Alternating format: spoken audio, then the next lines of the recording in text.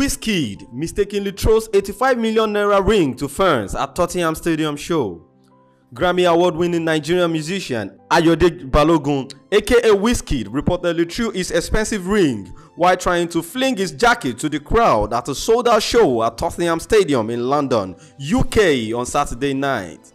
According to popular British Nigerian podcaster, the ring is worth 100,000 pounds, about 85 million naira. This is Ahmed Abbas reporting for Wisdom Yard Television.